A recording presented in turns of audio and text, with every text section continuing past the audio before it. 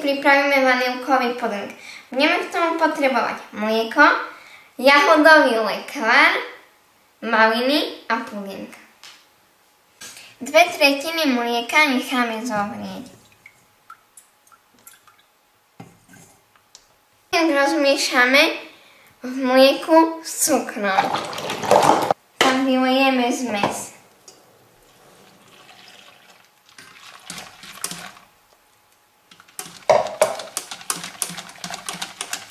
A premiešame. A miešame to, pokiaľ to neschustne. Teraz to necháme vychladnúť.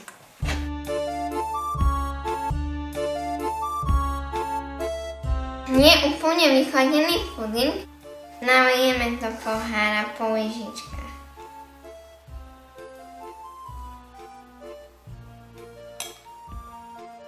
Puding v pohári necháme úplne vychladnúť.